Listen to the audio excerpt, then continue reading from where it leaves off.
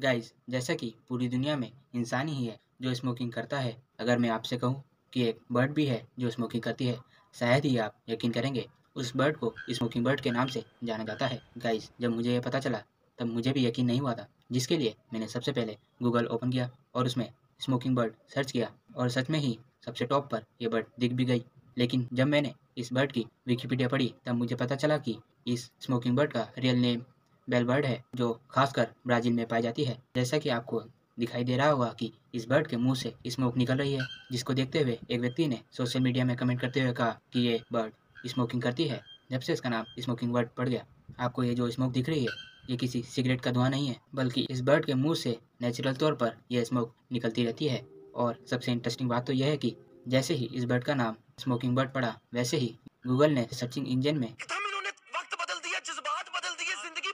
For just kidding guys ऐसे ही, और वीडियो देखने के लिए सब्सक्राइब करें। फिर मिलते हैं ऐसे ही अगली वीडियो में। तब तक के लिए बाय बाय थैंक यू